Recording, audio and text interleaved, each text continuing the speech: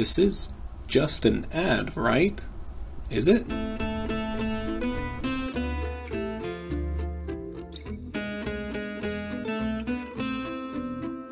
The Vespa is in the movie, either visually, within the dialogue, or as motivation, for 33 minutes, first entering the movie 15 minutes in, and with a total runtime of 84 until the credits roll, that's almost 40% of the movie focused on the Vespa. And there's plenty more qualifiers to increase that percentage. But just like any hidden agendas that may or may not be there, there's more to the choice of a Vespa than meets the eye. I've covered very few animated vehicles. They don't always mimic real life cars, and often the proportions are skewed. I've introduced this a little bit in my video about the Mitchells versus the machines. Let's dive into it a little bit more. A typical child's character is going to have specific proportions. The head will consistently be bigger around than the body is wide. The eyes will be closer to the center of the face. This is explained actually rather well in the ironically worst Pixar movie ever, The Good Dinosaur. In a behind the scenes look at the design of Arlo and Spot, the artist talks about dropping the nose and eye line below middle for younger children and awkward, skinny proportions for adolescent characters. So we have proportions that the environment needs to work cohesively with.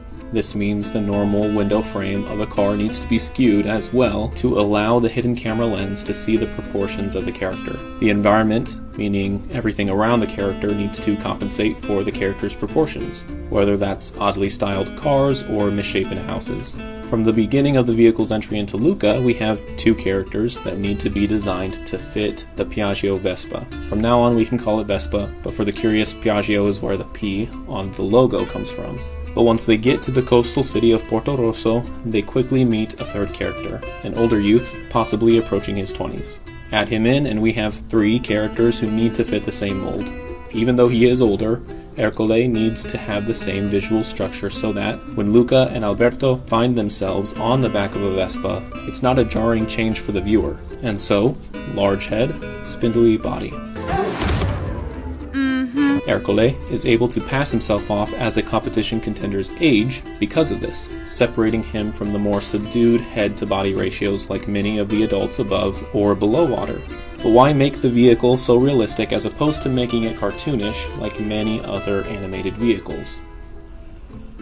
Set on the Italian Riviera in the late 1950s, the animators took this not only as an opportunity to share, in some ways, their deeply personal stories of childhood friendship, but to also create a world that they would feel comfortable in. The homes were meticulously crafted, the texture of the roads deeply researched, but to make it as true to the nature of their story as possible, they also dropped in some very realistic automobiles. The Fiat 500, a classic with Pixar, You will have your chance, Guido. You will have your chance. and the Piaggio Ape, or a Vespa truck.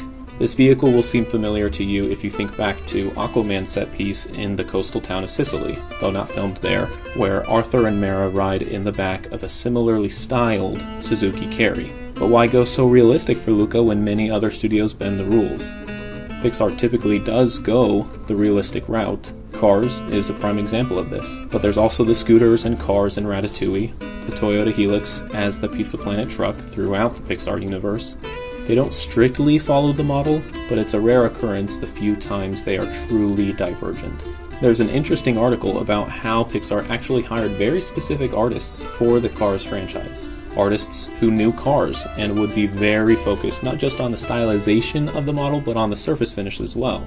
For example, when in Cars 3, McQueen and Cruz find the old dirt track, many of the legacy racers have bumps and weathering that need to come across on screen. The surface modeling and rendering technology gets transferred over to Luca when you have Ercole's shiny Vespa and the final blue yet rusty Vespa at the end. In trying to replicate such a storied location of coastal Italy, even if it's not an exact replica of a real Italian town, recreating the textured variety of the Riviera means you bring in the same team of artists. The team subsequently needs to create either cartoon vehicles or utilize the cartoonish proportions that already exist from some of Italy's best design house history in Fiat and Piaggio.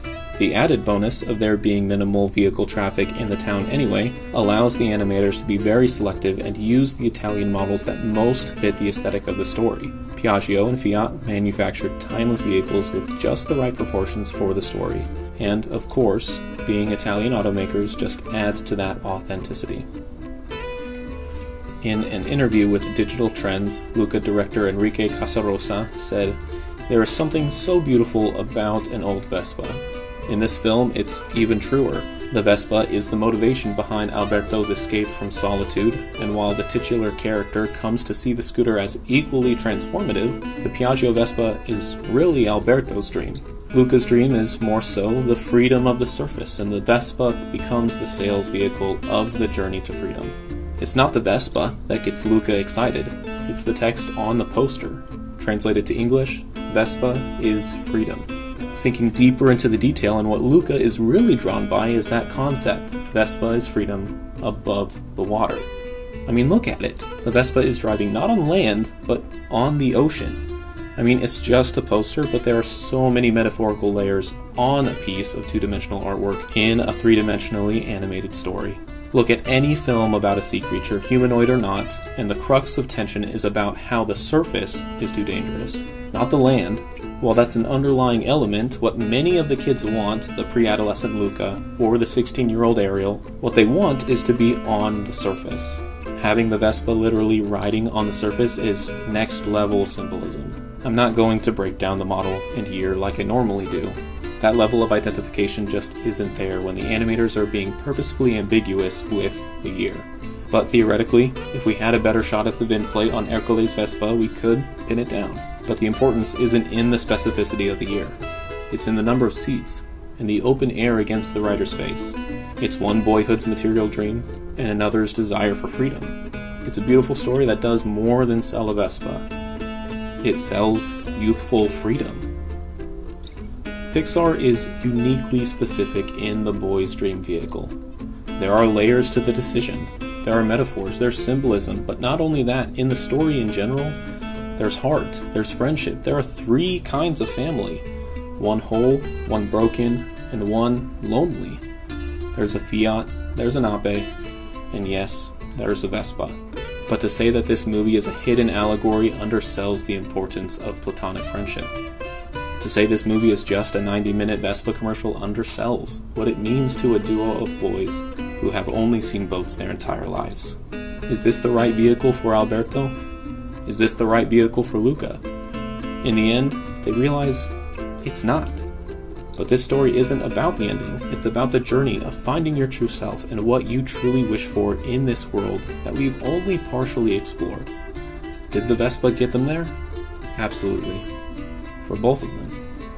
Thanks for watching, and I'll see you all in the next one.